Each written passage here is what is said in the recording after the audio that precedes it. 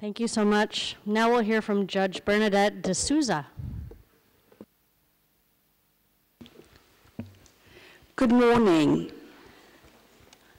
I am truly humbled to be with you here at this wonderful summit and would like to uh, thank Pope, His Holiness Pope Francis and His Excellency Bishop Sorondo. Equal access to justice begins at court.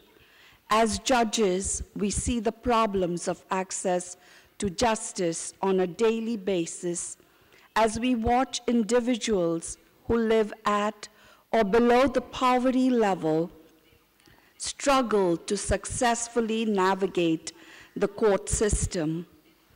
Access to justice seeks to overcome the barriers that prevent vulnerable members of the community from using the civil courts.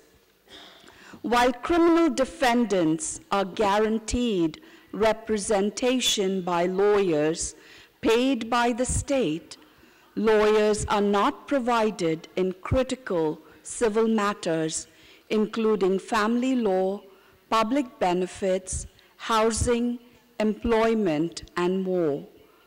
All of these cases impact poverty and its consequences.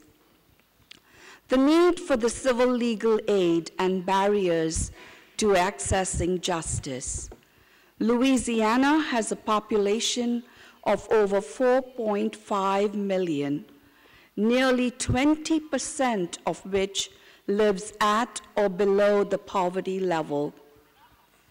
Nationally, Louisiana ranks last in healthcare and has the second highest rates of domestic violence and poverty. Yet, the state provides zero funding to help its most vulnerable residents to obtain free civil legal assistance. In 75% of civil cases in Louisiana, one or both parties are forced to represent themselves. The main barriers to accessing civil legal justice system are lack of representation, inability to pay court costs, lack of awareness that the issue requires a legal solution, and no knowledge of the availability of legal aid services. In a recent study of unmet legal needs conducted by the Louisiana State Bar Association, researchers found that nearly half of individuals surveyed did not know they could get pro bono legal help at civil society organizations that we call legal aid societies hire a low-cost attorney, or use online help. Facing the court system without representation is an intimidating experience. The lack of counsel is felt profoundly in domestic relations court, where cases such as divorce, custody, support, and property issues are heard. Civil legal aid is essential for domestic violence cases in particular. It is estimated that the likelihood of obtaining a protective order leaps to 83% with an attorney from a mere 32% without.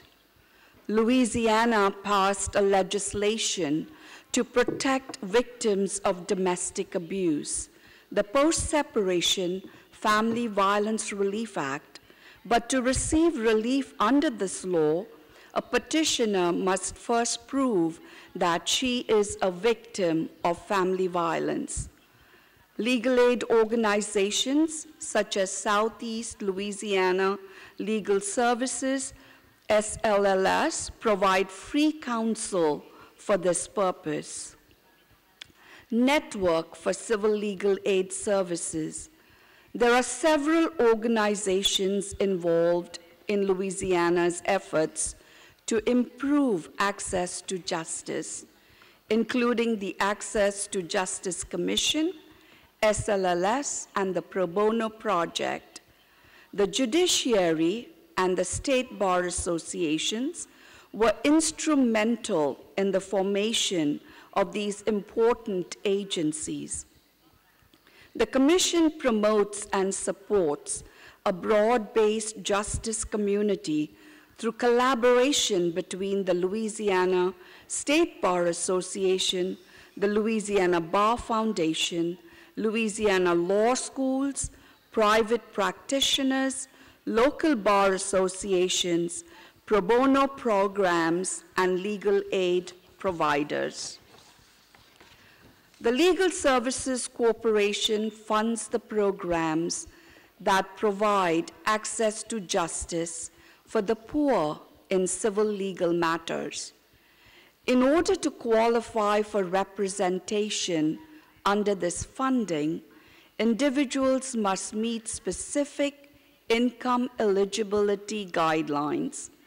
For over 50 years, SLLS has used these funds to provide life-changing, direct civil legal services to low-income and other vulnerable people in southeast Louisiana to help improve their lives and stabilize communities.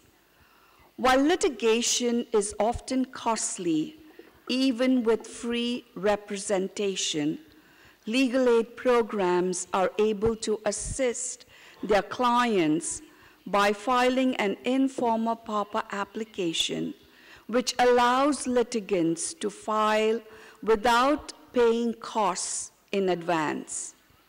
In addition to providing free representation to income eligible clients, the Pro Bono Project oversees self-help resource centers.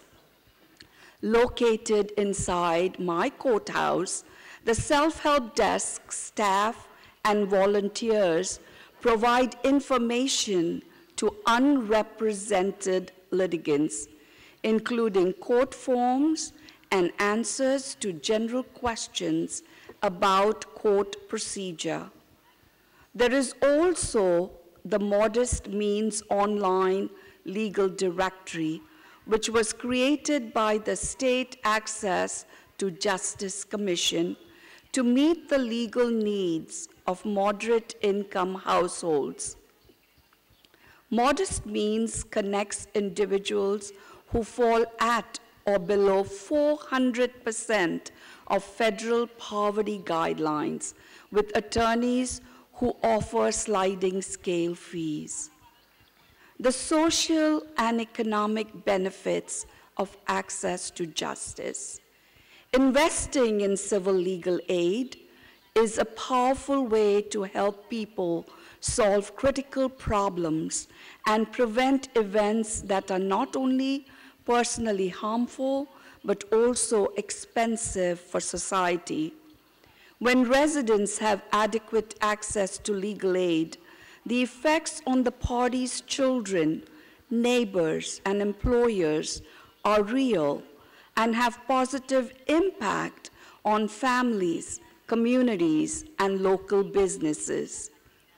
According to an economic impact and social return on investment analysis conducted by the Access to Justice Commission, for every $1 invested in Louisiana's civil legal aid services, there is a $9.13 in immediate and long-term financial benefits. That includes healthcare, law enforcement, emergency services, justice reform, and more.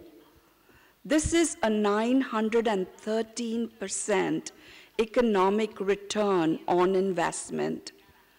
SLLS had a direct economic impact of 21 million in 2018 through its efforts to preserve homes, gain access to medical care, unlock disaster relief resources, secure child support, and more.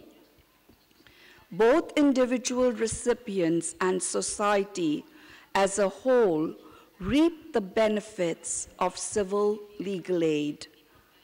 Every lawyer has a responsibility to provide pro bono services to those unable to pay, and the judiciary should encourage them to do so. Personal involvement in the problems of the disadvantaged can be one of the most rewarding experiences in the life of a lawyer, as well as one of the most illuminating. Attorneys employed in legal services program for a program that I worked prior to coming to the bench choose to dedicate their entire professional career to assisting the poor. They are devoted and passionate about the issues experienced by their clients. Equal access to justice must play a critical role in the elimination of poverty. It is our responsibility and ethical duty as judges to ensure that low income litigants are able to navigate the court system in order to avail themselves of the relief they deserve. By depriving our poorest citizens of civil legal services, we reinforce an inequitable system that inhibits both individual and community progress. Promoting equal access to civil legal aid for all is an essential step to creating communities that support our most vulnerable members of society and provide justice for all. I thank you all so very much.